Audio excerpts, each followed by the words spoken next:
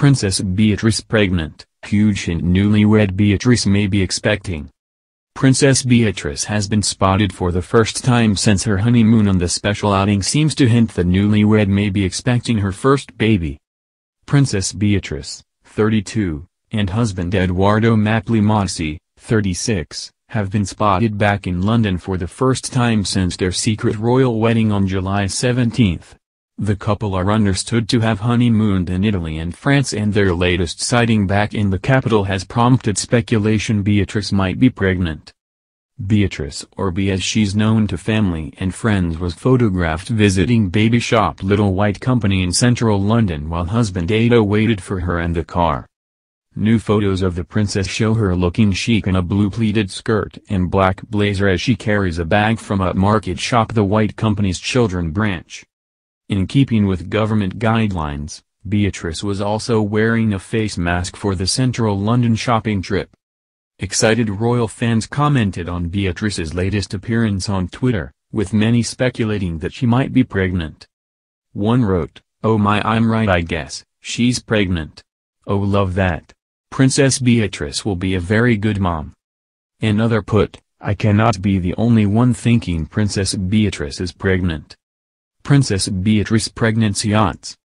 Bookmakers Ladbrokes have slashed the odds on Beatrice announcing baby news by the end of the year. Following the royal wedding Ladbrokes have cut the odds on Beatrice giving birth in the next 12 months from 1-5 to half.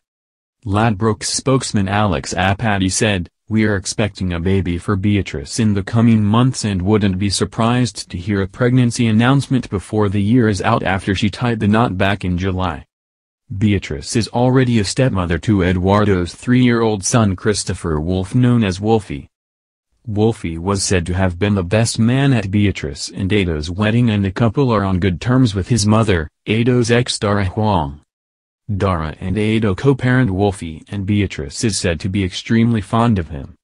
Many details about Beatrice and Edoardo's low-key royal wedding were kept secret from the public with very few official photos from the big day being released. The couple tied a knot at All Saints Chapel in Windsor near Beatrice's family home the Royal Lodge. Queen Elizabeth II, 94 and Prince Philip, 99, were among the 30 guests to attend the small ceremony and Beatrice's gorgeous wedding dress was a huge hit with fans. Bea borrowed a 1960s Sir Norman Hartnell gown belonging to the Queen which was updated to suit her big day. The spectacular dress which features a hand-embroidered bodice covered in crystals and diamantes captured the imagination fashion fans. Earlier this week it was announced Beatrice's wedding outfit will go on public display at Windsor Castle later this month.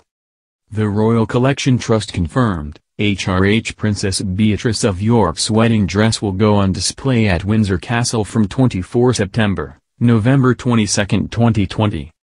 The display will also feature Princess Beatrice's wedding shoes, made by Valentino and previously worn by Her Royal Highness on occasions including the wedding of TRH the Duke and Duchess of Cambridge in 2011. In addition, a replica of Bea's bridal bouquet made from artificial flowers has been created for the display. The bouquet was designed by Patrice Van Helden, co-owner of RVH Floral Design, and contained trailing jasmine, pale pink and cream sweet peas, royal porcelain spray roses, pink O'Hara roses, pink wax flower, Chamelaucium uncinatum, and baby pink astilbe, as well as sprigs of myrtle in keeping with royal tradition. While Beatrice usually visits the Queen during her summer break at Balmoral every year, it is not known if she made the trip this summer. While the Queen welcomed Princess Eugenie and her husband Jack Brooksbank at her Scottish home last month, Bea and Edo's honeymoon abroad may have made the visit impossible. The Queen and Prince Philip are both at high risk from COVID-19 because of their age and Beatrice and Edoardo's time in France where coronavirus cases have been rising could have posed a potential health risk. The newlyweds are likely to have had to isolate for 14 days following their return to the UK.